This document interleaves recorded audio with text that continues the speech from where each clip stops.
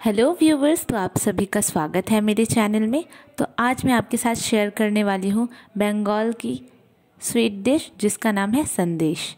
इसे बनाना बहुत ही आसान है। तो चलिए, सबसे पहले इसके इंग्रेडिएंट्स देख लेते हैं। चलिए, अब शुरू करते हैं। पहले एक लेंगे मिक्सी जार और उसमें डालेंगे शुगर, यानी कि चीनी। चीनी डालने के बाद अब मैं इसमें डालूँगी इलायची। अब ढक्कन को बंद करके हम इसे ब्लेंड कर देंगे। अब हम नेक्स्ट स्टेप में लेते हैं पनीर। यहाँ पर मैंने होममेड पनीर का यूज़ किया है।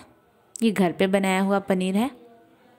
अब इसे हम लोग अच्छे से, ऐसे हाथ से फैला देंगे। थोड़ी देर तक इसको ऐसे ही करते रहेंगे ताकि ये बिल्कुल ही सॉफ्ट हो जाए।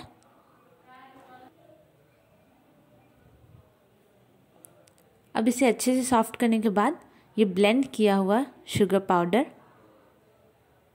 देखिए, ये बहुत अच्छी तरह से ब्लेंड हो चुका है। ये ब्लेंड किया हुआ शुगर पाउडर अब हम इसमें ऐड करेंगे।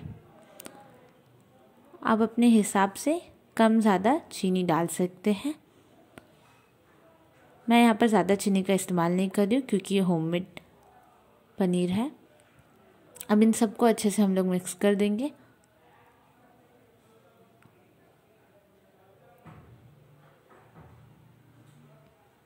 अच्छे से मिक्स करने के बाद इसे एक जगह पर रख के अब चलते हैं हम इसे पकाने।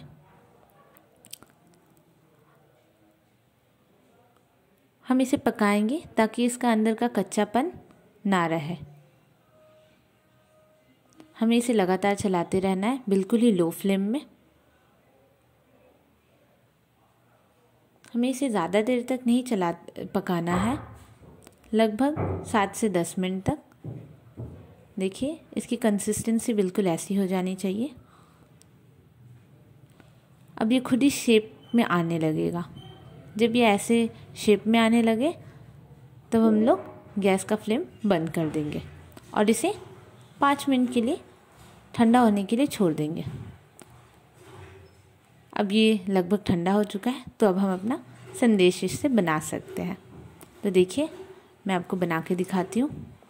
देखिए। कितनी अच्छी तरह से इस शेप में आ गया है। आप चाहे तो इसे अलग अलग शेप्स में भी बना सकते हैं। अब चलते हैं इसे सर्व करने के लिए। पर अभी भी ये थोड़ा फीका फीका सा लग रहा है तो अब मैं इसे कर देती हूँ डेकोरेट विथ ड्राई फ्रूट्स के साथ।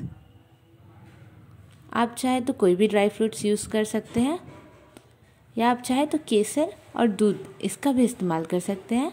या रोज़ पेटल्स भी आप यूज़ कर सकते अब हमारी संदेश अच्छे से रेडी हो चुकी है। अगर आपको मेरी रेसिपी पसंद आई हो तो प्लीज़ मेरे चैनल को सब्सक्राइब करें और वीडियो को लाइक करना ना भूलें। Bye bye